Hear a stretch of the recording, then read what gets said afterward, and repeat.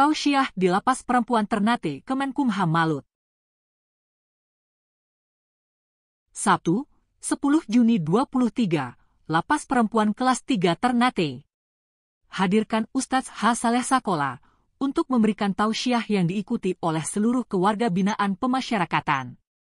Kasubsi pembinaan, Ami Asmiani membuka kegiatan tausiah dengan mengucapkan terima kasih. Karena Ustadz telah menyempatkan waktu untuk datang dan memberikan tausiah kepada warga binaan. Kegiatan yang diselenggarakan diikuti semua WBP yang beragama Islam dengan penuh hikmat.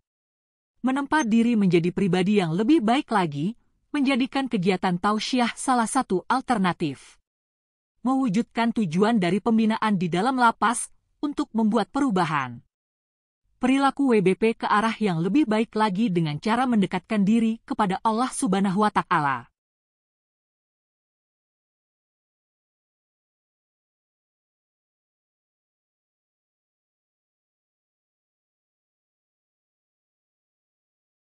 Terima kasih sudah nonton. Jangan lupa like, subscribe, dan share ya.